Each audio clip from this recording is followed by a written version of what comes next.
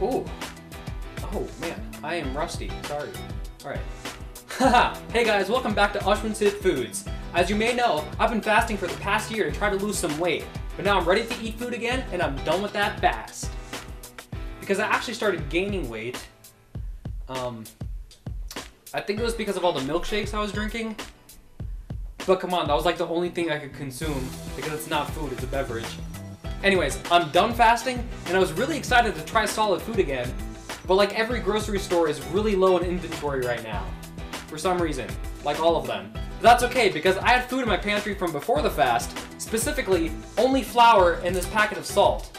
So today, I'm gonna show you how to make a no-knead, no-yeast bread. Because grocery stores are so low with bread, a lot of people are looking for really easy shortcuts on how to make it. So today, I'm gonna show you the perfect recipe for making bread without learning any new skills or putting in any of the effort it takes that makes food actually taste good. Alright, let's get started. Okay, so the first thing we need is a mixing bowl. And to that bowl, we're gonna add a half a cup of cold water. You always wanna start with the liquid first, just like pouring a bowl of cereal. And for this recipe, you only need a cup of flour. But hold on, that was knead N-E-E-D. Remember, this is a no-knead bread. Okay, now mix it until the flour and water are ever so slightly incorporated. Remember, you're not kneading it. This is a no knead zone. Absolutely no kneading. Okay, and now, I mean, again, you can't knead it because you refuse to, so that's really all you can do. Pour that into a baking tray and uh, be careful not to knead it. We wouldn't want you doing that. Now just shape it into a bread shape with your hands, but don't expend too much energy, okay? You really don't want to cross that fine line between touching it with your hands and kneading it. God forbid, you have to learn how to knead. Cover the tray and put it into a 450 degree oven for 30 minutes. Then we're gonna bake it for another 20 minutes uncovered.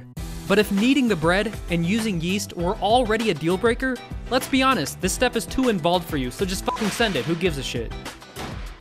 Wow, look how well it turned out. Compared to this actual loaf of bread. Just fucking knead your dough. Use yeast. If you're gonna make bread, make it the right way.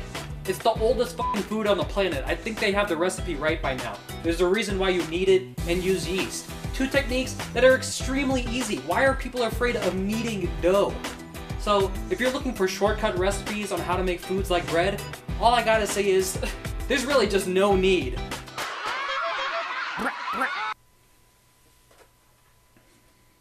still gotta eat this.